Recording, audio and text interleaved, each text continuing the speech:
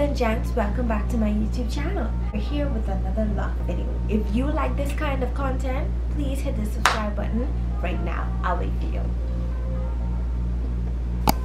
I show you you do it? Alright, good. Video is about the benefits of not retwisting your locks, okay? I haven't retwisted in three months believe you when I tell you, I feel like my hair, it had a break. I left my hair alone and I it did what it had to do. Today is the first time I say, you know what, let me do a braid out. So I did a braid out on my hair. And if you want to know how to do that, watch the video, I'll pin it to the comment. And I'll also link it down subscription. Let's talk about why I did it. I did it to give my scalp a break. I was tired of the tension, tired of the bothering Locks is something that you're supposed to do naturally. Although my hair has its challenges that I'm facing right now with um, lint and everything, I wanted to just leave it alone, give it a break. I found twisting to be a benefit instead of a loss. That makes your locks thick and full.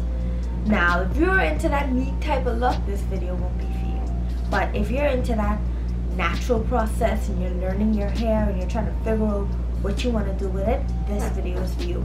When I tell you my locks thicken up, my roots start growing healthy, my hair feels lighter, my hair feels better. Only thing I did do every other week was separate it so it doesn't join up together you know that was the only thing that I did otherwise I gave my scalp and my hair a break I was able to properly moisturize my hair because now my roots have grown out.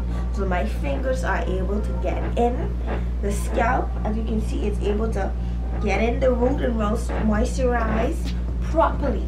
Sometimes I believe that's what our scalp needs. Our scalp needs a little bit of tender care. All that pulling and retwisting and styling I always say I believe. Every time I get my hair done and I still go ahead and get done but are not meant to be worn up or in styles. Because the minute I get a style is cute for two days and the third day I'm ready to take it out literally. And I sure it ain't only me who is going through that. I sure you guys is going through that too. I am positive.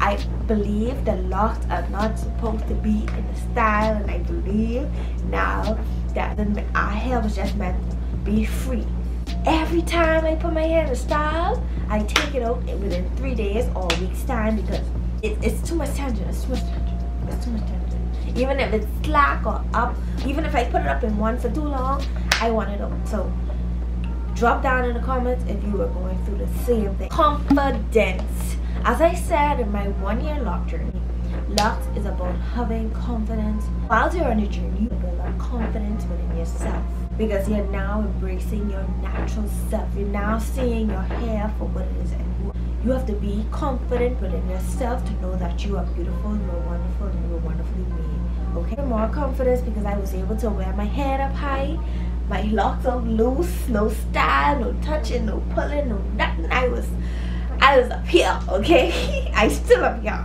Like it was nothing. Like confidence, you, you love yourself even more you embrace your journey because you don't let nobody dictate to you and tell you what you should do you just embrace speak affirmations to yourself too because there are going to be days when your confidence isn't going to be a sky 100 but you have to speak to yourself i'm beautiful i'm beautiful within my natural self i love my hair i love how it's growing i love what it's doing you speak that and then it becomes you it becomes a part of your thinking. Motivational things that i was saying to myself while embracing this three month no retwist journey. Product free chemical free not everything free nothing free. Nothing was going in my hair i didn't know else I have to do a super duper wash and a super duper ACV, but product free, free, loose.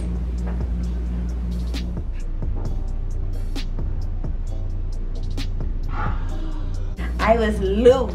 Like I wasn't worrying about no chemicals. I wasn't worrying about nothing other than lint. Lint, you're a bad person. Lint, you're a bad person. But I got a satin cap and scarf now, so I'll be using that. I just started to grow more.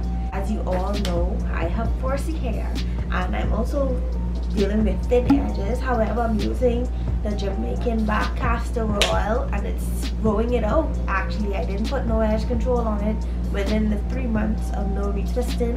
I just was oiling down it each night and hopefully in the next six months I see major results because I'm trying to stay away from the edge controls for now and also unless I have some but I'm trying to stay away from the edge products on my sides they just will basically stick with oil. I noticed when I wasn't bothering my hair it was when it started to grow. I feel as though we manipulate our hair too much. So that's why it's not growing like how it should. And the minute I leave it alone it shoots up. That's another tip. Also thing has saved me time money. I don't know how to retwist my own hair yet. So I didn't have to go in the salon for three months. I didn't have to sit down and get my hair do. I didn't have to worry about the dryer. you know, everybody knows dryer first. I didn't have to do nothing. I just was getting up and going, getting up and going, getting up and going. So I would encourage a three month retwist break and you'll see the wonderful changes that happens while you're on your journey. This is the end of the video and it's also question time. So if you guys have any questions about link it down below. Also, feel free to comment how your not retwisting process was going or if you would ever do it. So thank you guys so much for watching.